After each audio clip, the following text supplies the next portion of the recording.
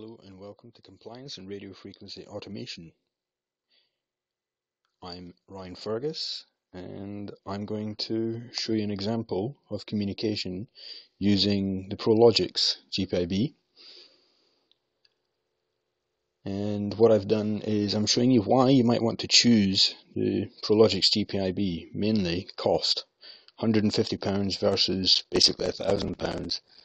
Our application allows you to seamlessly integrate your development environment with our communications DLL. So I am just going to connect onto uh, our device, which is a PM100 from Voltech, connected onto pad 2. And okay, so it's currently showing it's connected. Session 999 basically means that it's um, non-visa. So in this case, um, while we can communicate with the national instruments, in this case we are not actually using the visa layer at all. We're communicating directly. So let me just connect on and let's see what the Voltech has to offer us.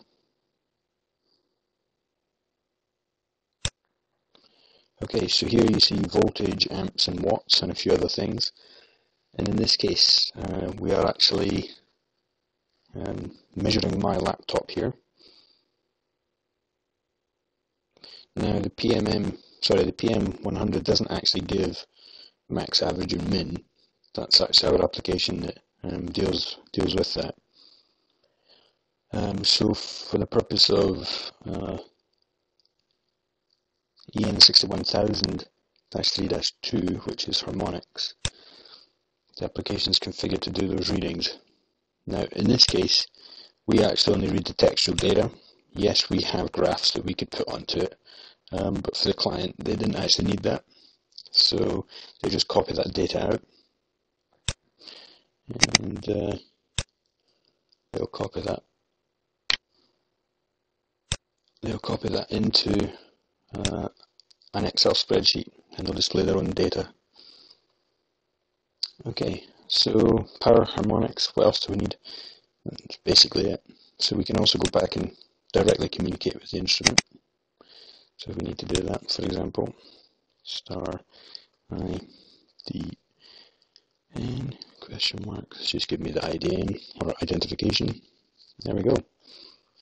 So that is us using uh, Prologix GPIB Ethernet. And uh, as far as as far as what you see um, when you're using the communicator is just the device at the end of that. You're unaware of it. We take care of all that communication. So if you're interested, drop us a line.